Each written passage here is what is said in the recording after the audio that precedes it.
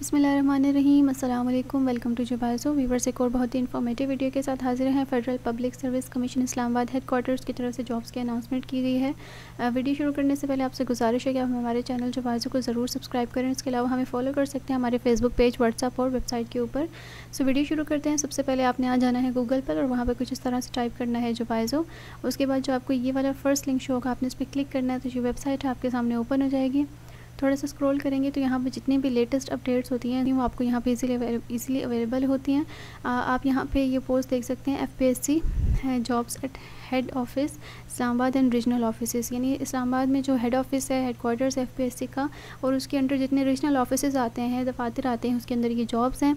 इसकी डिटेल्स अगर आप इस पर क्लिक करेंगे तो जो पोस्ट है आपके सामने ओपन हो जाएगी. थोड़ा सा आप स्क्रॉल करेंगे तो यहाँ पे आपको इसकी डिटेल्स मिल जाएँगी. इसमें अप्लाई करने की जो लास्ट डेट है वो है तीस अगस्त, और दो हज़ार बाईस में टोटल वैकेंसीज़ जो हैं वो है सैंतीस, उसमें जो वैकेंसीज़ के नाम हैं वो भी आपको यहाँ पर मिल जाएँगे कि कौन कौन सी वैकेंसीज़ जो हैं वो इसमें खाली हैं. नीचे आपको फर्दर इसका एडवर्टाइजमेंट भी मिल जाएगा।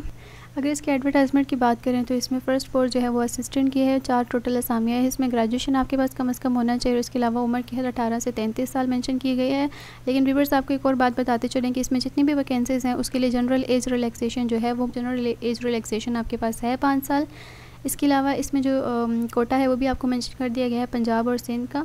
स्टैटिस्टिकल असिस्टेंट की जॉब है इसमें सेकेंड क्लास बैचलर्स डिग्री आपके पास शुमारियात की होनी चाहिए। इक्कीस से पैंतीस साल एज लिमिट है, आप इसको फोर्टी कंसिडर करें। थर्ड स्टीनो की जॉब है ग्रेड फोर्टीन की ये जॉब है और चौदह जो है फोर्टीन जो है, इसके अंदर असामियाँ हैं। इंटरमीडिएट आपके पास कम अज़ कम होना चाहिए। आपको शॉर्ट हैंड आना चाहिए इसके अलावा आपको कंप्यूटर का नो हाउ होनी चाहिए। अठारह से तीस साल एज लिमिट आप पैंतीस कंसिडर करें, अठारह से पैंतीस साल।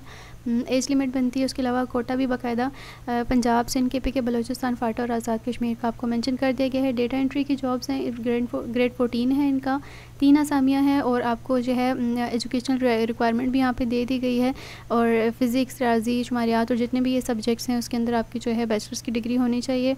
एच e की तरफ़ से किसी भी मंजूर शुदा यूनिवर्सिटी से होनी चाहिए और इसके अलावा जो कम अज़ कम आपकी जो की डिप्रेशन है पर आवर के हिसाब से वन टेन थाउज़ेंड सॉरी आपकी की डिप्रेशन होनी चाहिए। अठारह से तीस साल तो अठारह से पैंतीस साल एज लिमिट है, कोटा भी आपको दे दिया गया है। अपर डिविजनल क्लर्क की ग्यारह ग्यारहवें ग्रेड की ये जॉब है, इसमें तीन आसामियाँ आपके पास इंटरमीडिएट होना चाहिए और बाकी आपको यहाँ पर डिटेल बताई है। अठारह से पैंतीस साल, तीस मेंशन आप पैंतीस कंसिडर करें, उसके अलावा कोटा भी आपको मेरिट पंजाब और सिंध का दिया गया है।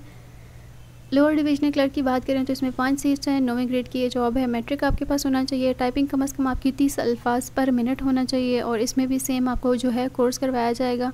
एन आई टी बी की तरफ़ से अठारह से पैंतीस साल एज लिमिट आप कंसिडर करेंगे, कोटा आपको दे दिया गया है। ड्राइवर की जॉब है, इसके अंदर टोटल दो आसामियाँ हैं। ग्रेड चार की ये जॉब है, प्राइमरी पास आपको होना चाहिए और आपके पास लाइसेंस हो ट्रैफ़िक के जितने भी कवानीन हैं हाँ वो आपको अच्छी तरह से आने चाहिए। अठारह से पैंतीस तो चालीस साल आप कंसिडर करेंगे, उसके अलावा आपको इस्लामाबाद का यहाँ पे कोटा दिया गया है। नायब कासिद और खाकरोब की जॉब है, दोनों के लिए आपके पास जो है प्राइमरी होना चाहिए। अठारह से तीस है तो आप पैंतीस साल कंसिडर करें और इसके अलावा कोटा भी आपको दे दिया गया है। इसमें अप्लाई करने की लास्ट डेट भी आपको बता दी गई है और तमाम डिटेल्स भी आपको बता दी गई हैं। इसके अलावा भी अगर आपका कोई क्वेश्चन है तो आप वो कमेंट्स बॉक्स में पूछ सकते हैं।